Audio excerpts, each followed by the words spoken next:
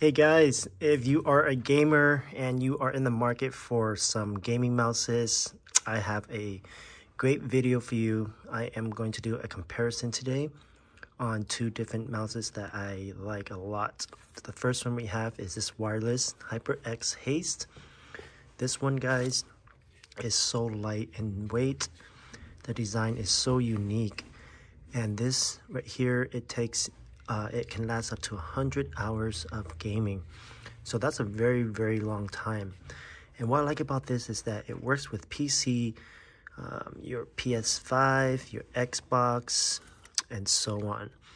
Very versatile mouse. A lot, there's a total of six programmable keys. And yeah, it's super comfortable when you play. I love the size of this. It fits really nicely in my hand and I can play this with this mouse for hours. Next you have is the Logitech G203. This one is a wired mouse, um, so you don't have to worry about the battery dying. The design is very simple.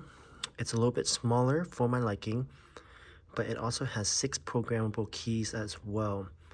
Guys, this one is also a great, great mouse to game with.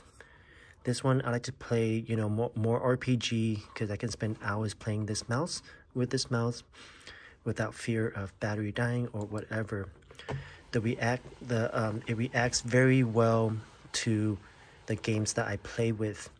So overall, these two are great mouses.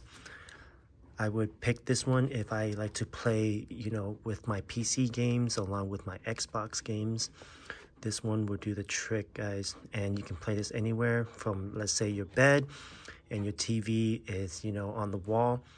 This is perfect since it's wireless. This one is more for PC because you do have to plug it in and it plugs in with a USB-A port right here. Overall I like them both but if I had to choose because of versatility vers uh, how versatile it is this mouse this uh, HyperX Haste is the one that I would choose